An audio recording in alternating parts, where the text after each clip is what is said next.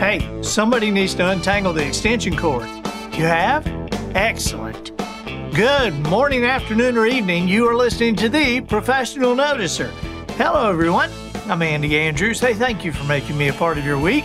My purpose here today and with every show we do is to play the part of a best friend or a coach. I want to help you live the life of your wildest dreams by giving you access to the greatest mentors the world has to offer today. The Professional Noticer is sponsored this week by our friends at Tucker ATV. You know, the variety of power sport products at Tucker ATV will blow your mind. Hustler turf equipment, the entire line of Echo power tools, not just what you see in the big box stores, but the entire line. And of course, Tucker ATV carries every make and model of Polaris ATVs. They have all of them even the big Ranger crew.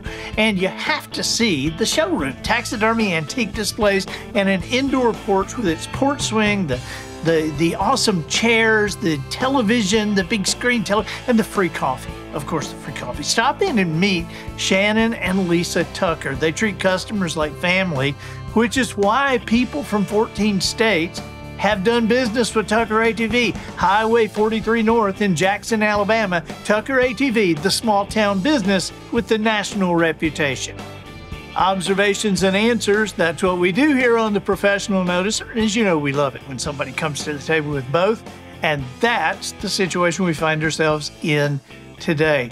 We have somebody that I am just meeting for the first time, but I feel like I already know her because her father is one of my best friends. Um, our guest today is a wife, a mom, a librarian, and an author. And she also teaches Bible studies, which uh, really kind of got her into this author thing, I think. She is also, uh, if, if you watch um, Wisdom Harbor, she is um, Mark's daughter, Mark Foley's daughter, Dr. Mark Foley, who's a contributor with Wisdom Harbor. So please welcome Molly Sawyer. Molly, thank you for being with us today. Thank you for having me. I'm happy to be here. Well, I am I am excited about this. I've heard so much about you and about your family, and so I hear the stories. You know, Mark and I see each other at least once a week, and and so I was very excited to get this.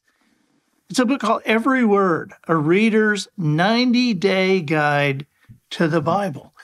And this, not only is it a beautiful book, it's well written and it's, I, I, I don't mean to say it's simple, it's easy to follow. Yeah, no, I think simple is a good word.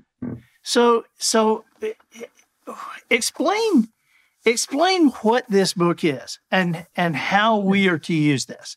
This is a resource to help people read the bible for themselves. It has a 90 day reading plan and we can get into the 90 in a minute. But a 90 day reading plan that takes you through the bible chronologically. And there's commentary on all 66 books of the bible. There's some historical notes. Um, there's a timeline that's helpful and it's just supposed to be something that you have in one hand while you have your Bible in the other hand to help you read and follow the story of Scripture.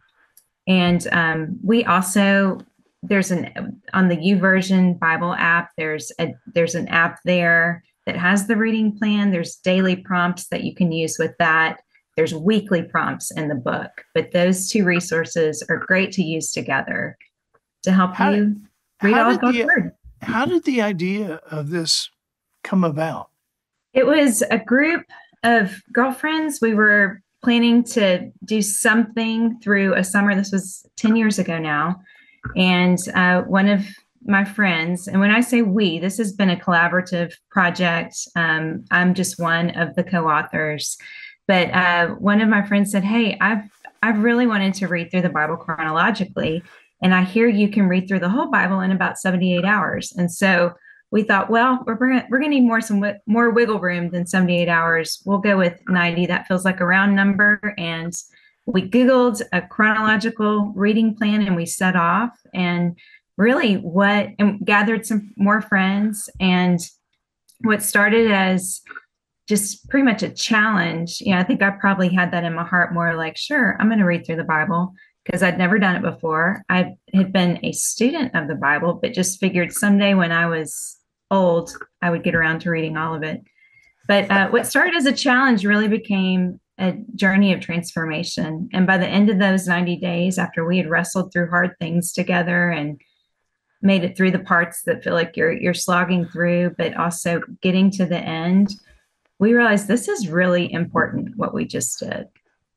And and it's just it took off from there. More groups gathered. We started doing it more and more and a book came out of it and to help because people kept saying how do you do this what do you do and so we put it put it in a book so you can hold it yeah, and and you you mentioned, and I caught I caught when you said just a minute ago, this is really important that mm-hmm. we we did this and we thought this was really important.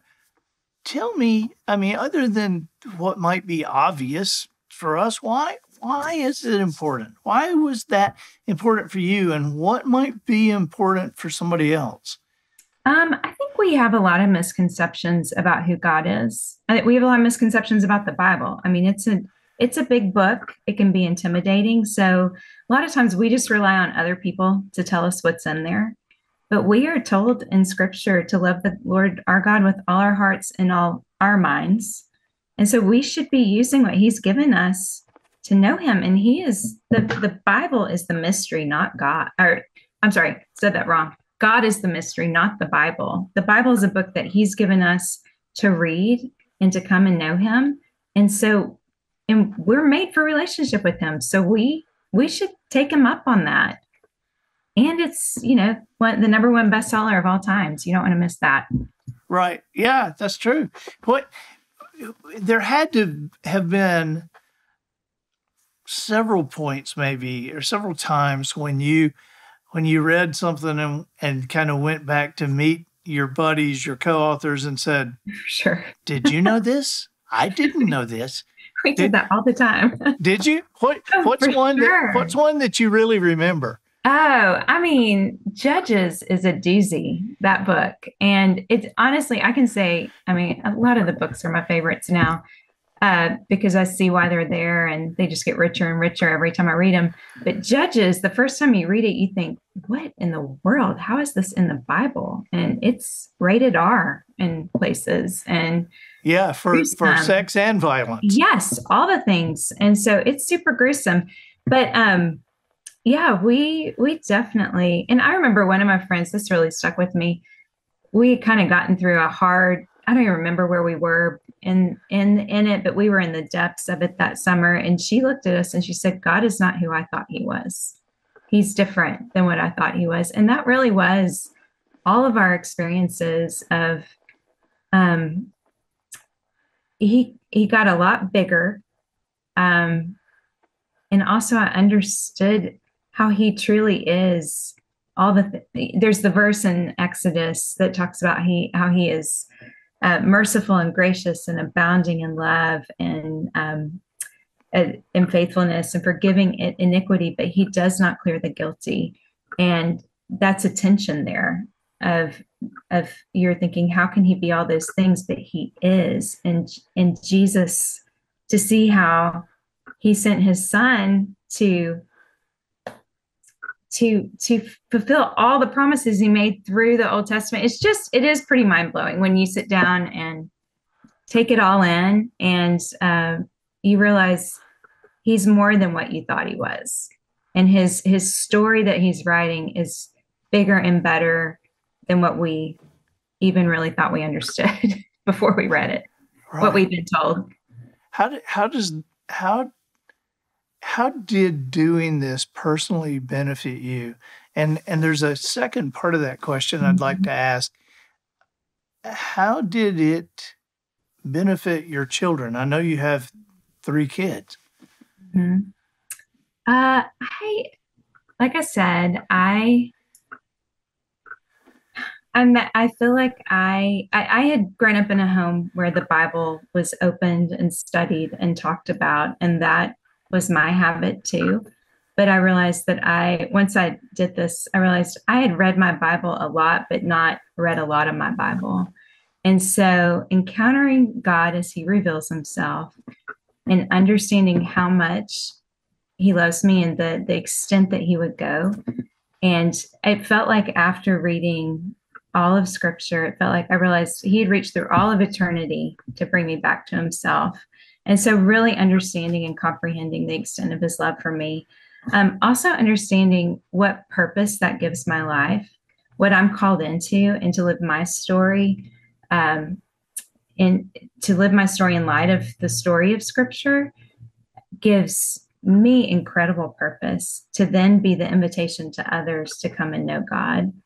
Uh, and then what I have to look forward to. I think, um, you know, we we we sit in church, but the idea of you know Revelation, that book feels really fuzzy and something that people most most people want to avoid. And we know that we're going to heaven when we if we know Jesus, we know we're going to heaven when we die. But I really, I think the thing that changed for me was, uh, I, I encountered God, and now I recognize who He is. And, this is such a silly example, but in that movie Elf, I was telling my girls this earlier this week, but that movie Elf, when he is told that Santa Claus is coming to the department store and he gets so excited, he goes, I know him, I know him that's that's how I feel about Jesus. Like I know him now and I um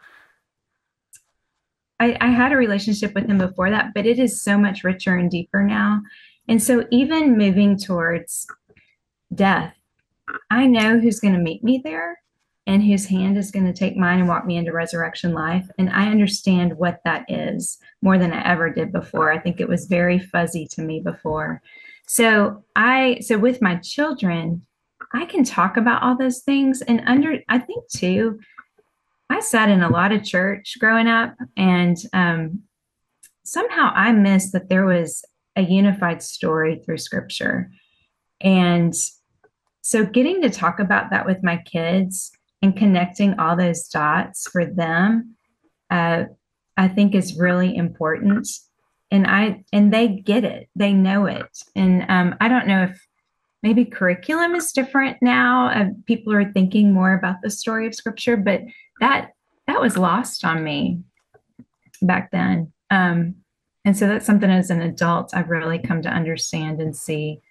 But uh, but also you asked like once I had read all of the Bible and understood that story, every other Bible teaching since then has gone into Technicolor for me. Because uh, I have, I I understand where it falls in the story and understand God's heart and uh, of what He's doing and why He's doing that and where the story is going. So it's just context, and then just that that understanding and knowledge gets layered upon layered. So it's something's being built up in me and it gets deeper and richer every time.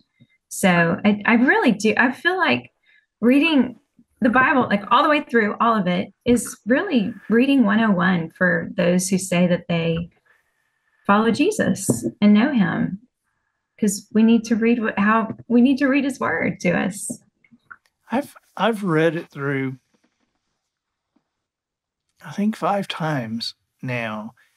And I'm still amazed at the things that I noticed that I didn't notice. Mm-hmm. And and I I am also shocked at how much of our modern culture, uh, some some of the sayings we use mm-hmm. that came from the Bible. You know, mm-hmm. like uh, um, a bird in the hand's worth two in the bush and mm-hmm. and you know when, if the horse is out of the barn it's too late to lock it and uh, there's the so Proverbs, many of those yeah the wisdom yeah, so many of those things and and um, you know living along the coast here uh, one of the things that that we say that we kind of go by is red sky at morning sailor take warning red sky at night sailor's delight and you know come to find out Jesus said that. That was yes. what Jesus said. So that's yeah. just um, it's amazing. Been around for a while. I know that is. So what what do you what do you suggest? I mean, what to obviously use the book every word, mm-hmm. a reader's 90 day guide to the Bible. Obviously, set aside the time to do this, but but what are some other things that you go now? Hey, if you do this, this will be easier. You have more success, more fulfillment. what are some tips for succeeding with this program? Well, don't get caught up in the 90. The reason why we say 90 is because I can do anything for 90 days. A year ask is a lot harder. So it's important to read any book in a short, measured amount of time because that's how you take it all in. You remember the beginning by the time you get to the end. Um, you can follow the themes, the characters, that sort of thing. So that same approach is what we take with the Bible. So whether if 90 is something that you're like, oh, I could never do that, but choose, have a plan. And I think having a plan is what gets you off the ground in this. The other thing is gathering people, have more than just yourself doing it with you, because that really makes it rich too, a cool experience to get to bounce ideas off of other your your buddies who are doing it with you. And um, it's accountability it's motivation too because you know they're doing it so it keeps you moving forward. Um, also having a readable translation we have here in the united states. We have access to so many different english translations of the bible. Um, one that i really love to to read when i'm doing this is the new living translation. It's a very readable um, version. That's that's what i do too. I, I, you know, to me, that makes it a story. That yes, just absolutely.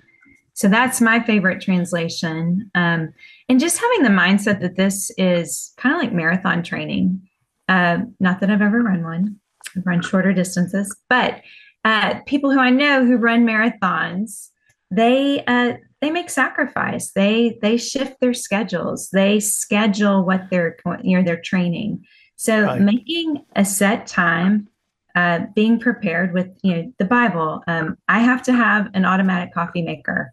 I have to have coffee already brewed for me when I wake up in the mornings. and so my time of when I get up and spend time in the Word is early in the morning. There's no distractions, but and then I work towards that where I make sure I'm heading to bed at a decent amount of time, decent time the night before. You know, you just you you work your life around what your priority is and so to make this priority you're going to have to shift some things um other i love something that's really helpful to me on i mentioned the YouVersion bible app which has a wonderful so many wonderful resources on it. You can find any bible translation. You can find a lot of different reading plans on there. Uh, but there's a listening component.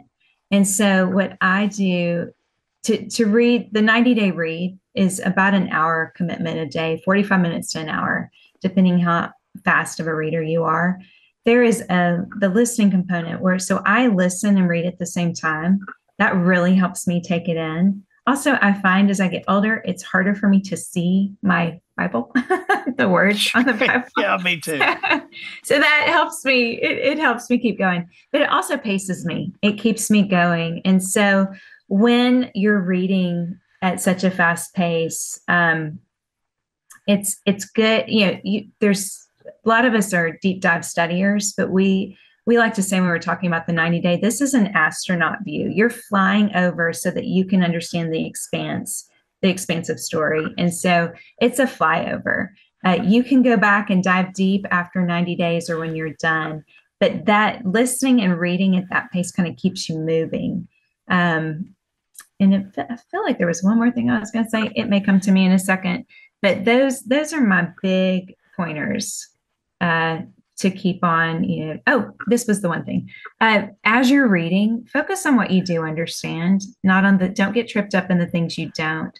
And usually, what you know, we say, make it keep a notebook of the things that you want to go back and dive into and say, what in the world was that, and do right. your research but also, some of that shakes out as you keep reading and you go, oh, okay.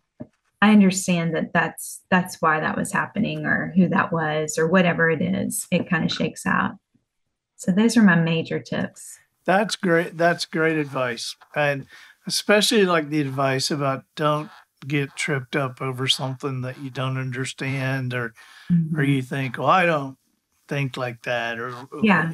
you know, I think it's I think it's very revealing what your friend said about God is not who I thought he was. Mm-hmm. Um, because I think that despite the fact that uh, we we read in the Bible that we were created in God's image, it's our it's our tendency to create God in our image, you know, and go, yeah, the God that I believe in wouldn't do this, and the God I believe in mm-hmm. does this, and then you read God's word, and you go, oh, mm-hmm. yeah, he's, he's not what I thought. Yeah. So, Absolutely. That was that is a great point. We're very good at making God in our own image rather than imaging him. And so we have to know who he is, how he reveals himself through his word to know how we're supposed to image him and who he is and and also to understand that I think a lot of people have the, the misconceptions because they're only reading sound bites from the Bible. And uh, when you when you get through the whole Old Testament, a lot of people think, oh, that's just the God of wrath, and oh, I don't really like him. But everything he does through the Bible is motivated by love, and it's all um, just. I, I, remember reading the prophets one time, Jeremiah the prophet, uh, and I that was a hard one for me to get to get through for a long time. And I was reading it. This this testifies to why we need to read with with someone else. But the one of the girls in the group that I was reading with her she came back and her perspective was God is so, He is such a loving Father. Look at how many chances He gave them and how He kept making that appeal to His people to come back to Him and know Him. And I thought, wow, that's not at all what I was focusing focusing on or understanding as I was reading that. Um, and that shifted that book for me. And now I can't help but read it, going, God, you are so patient and so long suffering with us. And your just judgment, that is the God, that is the kind of God I want to serve. I want, I would not want him to be any less just than he is. We would not want to serve a God that was not just. And uh, so we can trust that. That's also something that draws me into trusting him in his judgment. Yeah. And he's given us, you know, I mean, I could just, you know, it just, it keeps rolling, but uh, and then he's given us his son to stand to take that judgment for us. Like that's the beauty and the the the thing that's so mind-boggling of with his love that he's he's given us his son to stand in between us and his judgment. So it all that just comes to light more and more every time we go through it but um but one thing we didn't talk about and that i do want to make sure the thing that is also very, you know, I talked a little bit about 90 and doing it in a short amount of time, but the chronological bit is pretty important too. I feel like was very, uh, helps me a lot in under, you know, following that story of scripture. And I think a lot of people don't realize that our Bibles are not put in chronological order; they're in by genre. Right. But this reading plan um, you know, you read the prophets while you're reading the history so you understand why the prophets were saying what they were saying and that had always been lost on me. And i think it's right, really hard to read right. the prophets if you don't understand the history and what has been happening. Uh, in the new testament we read we we pause in acts and go and read the the letters that paul wrote to those churches which i think is a really cool way to understand why paul's saying what he's saying in those letters. I was teaching through Ephesians yesterday, and it's really important to understand the character of that Ephesian church to understand why, and of Ephesus, of that city, to understand why Paul was saying what he's saying. So, uh, so that's one of the benefits I think of reading it chronologically. It, it adds life. Uh, well, you know, add life to the Bible, but you know what I'm saying. It add, yeah, yeah. You're putting it together better. Thank you so much for this. I I really appreciate your time. The book can be purchased on Amazon, obviously, and you you also you guys have done a Spanish version. Yes, that's brand new. Just in January, our Spanish translation came out. So we are hoping to get this in the hands of Spanish readers and get that out. You people. will. I think eh, you know that's one of those things that I, I keep a couple of Spanish translations of certain books around because I, I just like everybody else, I'm always running into Spanish speaking people. And mm-hmm.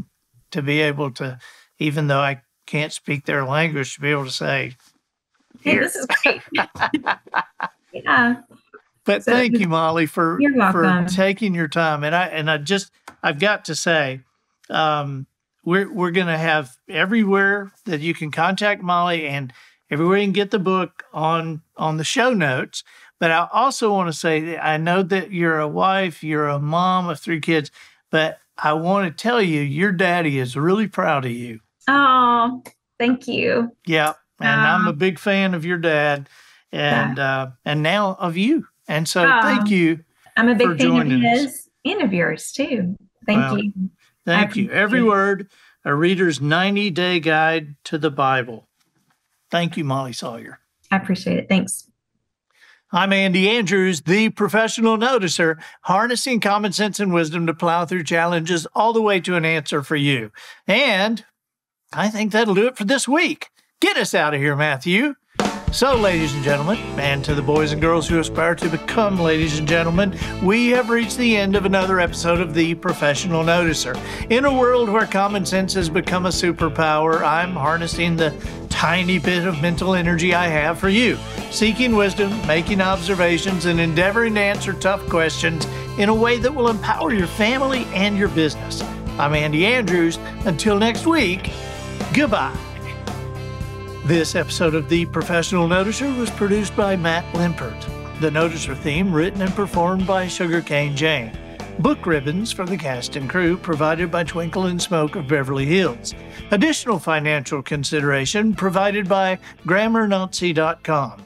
Moms, dads, are you appalled at your child's use of the English language? Do you wish for a way to come down hard when you hear something like, me and Frank are going to. Well, maybe it's time you subscribe to GrammarNazi.com. At GrammarNazi.com, we coach you on what to listen for and how to respond. Words like ain't are mild and should only be punished by solitary confinement in the cooler for a few days. More serious language crimes like me and Frank or all us or going to, these should be punished by repeating the correct usage and a, a diet of bread and water. For more help in how to discipline your child's English, it's grammarnazi.com.